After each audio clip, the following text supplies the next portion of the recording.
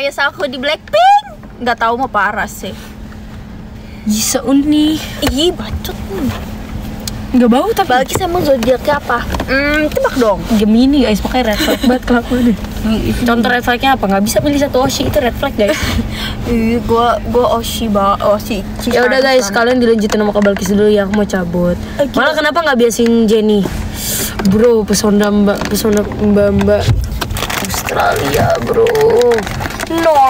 Tapi tapi tuh kita tuh nggak bias-bias gitu tetap dukung Blackpinknya. Bukan cuma satu Bukan individu. cuma satu individu. Ini hujan-hujanan support. Iya, rasanya tadi basah-basahan. Freya, ini Balkis. Kalau Freya yang live yang nonton pasti banyak bukan? Nggak cuma segini.